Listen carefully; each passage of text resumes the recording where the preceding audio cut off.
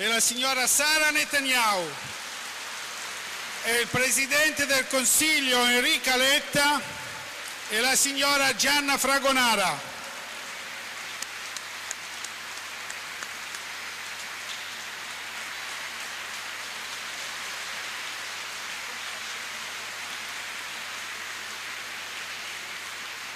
È per me un'emozione molto forte quella di essere qui tra voi di aver potuto ascoltare le parole così importanti e così impegnative e quella di poter rivolgervi un pensiero e un augurio in questo giorno, in questa festa così importante.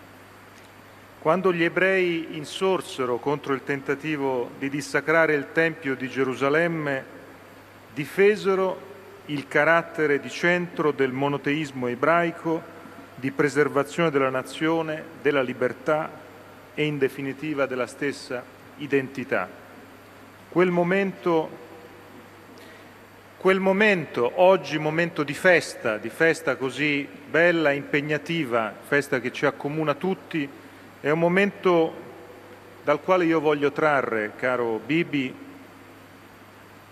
una considerazione, che è una considerazione che vale per tutti gli italiani di oggi. Ho avuto modo in questi sette mesi, lo sapevo già, ma in questi sette mesi ho avuto modo ancora di più di capire e apprezzare l'importanza per l'intero Paese della comunità e delle comunità ebraiche italiane.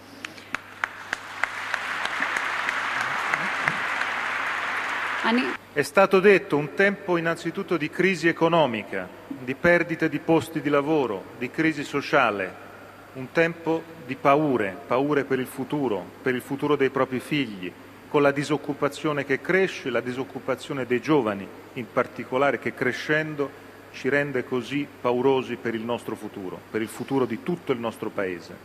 Ma è proprio in questo tempo in cui è facile che queste paure, queste difficoltà alimentino le spinte dell'estremismo, dell'odio, dell'intolleranza.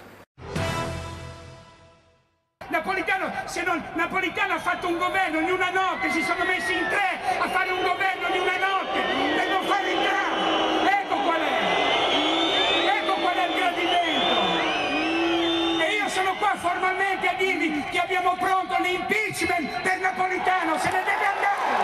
Dobbiamo fare pure sgomberare le macerie di questi partiti che non ci sono più. Partiti a cui noi daremo l'estrema unzione. Fine. Fine. Siamo in una piazza storica. Siamo in una piazza che si chiama Vittoria, non è un caso. Non è un caso. Gli ultimi che hanno parlato in questa piazza meravigliosa sono stato è stato Pertini che ha dato inizio a una grande rivoluzione partita da Genova contro il governo Tambroni, se vi ricordate. Se fosse vivo sarebbe qua anche lui a parlare. Fantastico. È l'ultima piazza, è l'ultima. Grazie. Grazie. Là in fondo, venite a me. Venite a me.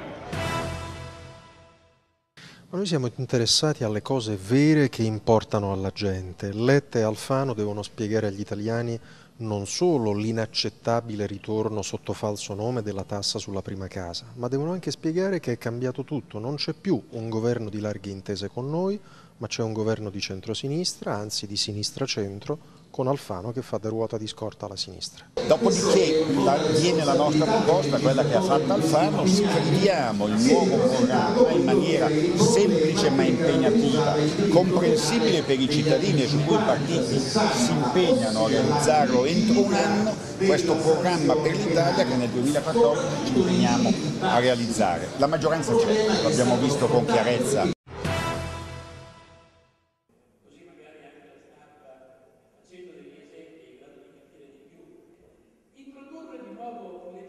sotto eh, i, per i comuni sottostata è uno sconto altese, che ovviamente verrebbero deputati dai capitoli di bilancio che sarebbero pagati sempre. Non si prevede nessuna misura. Ma questo,